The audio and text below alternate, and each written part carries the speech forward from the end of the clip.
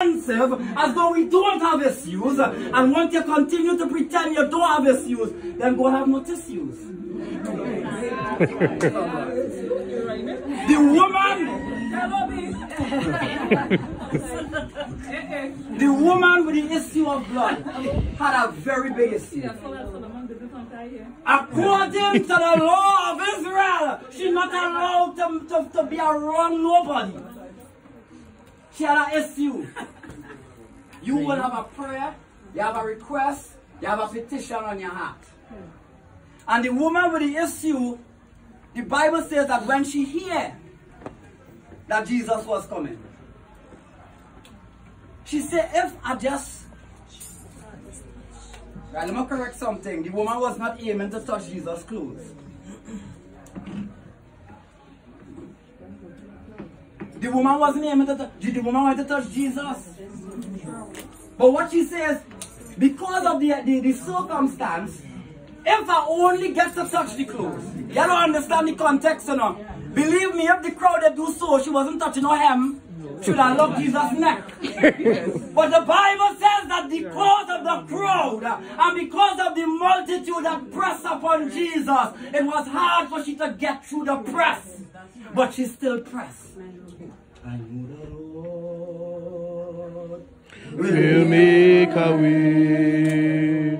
Oh, I know, I know, I know, Lord. I know the Lord will make a way. And if the woman was a Baptist, I oh, could imagine she on the ground.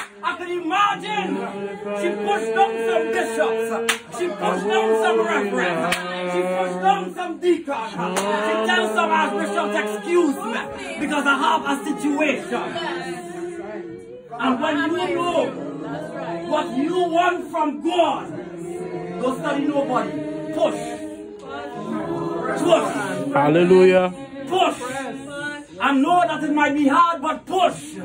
I know sometimes the that does can't help but talk, but keep pushing. And the Bible says that when she touched Jesus, what you came out, and we know the story. The long and short of the matter is, keep pressing, keep pushing, and most importantly, keep listening to the same voice will tell you do this. Because I want you to know that the God that I serve and that you serve is a rewarder of them that diligently seek Him. And I declare today that this table going to open some miraculous doors in here. Well, I can clap for that because it will show that you're consuming. If you, if you, if you don't want the door open, let I leave the thanksgiving we're doing here.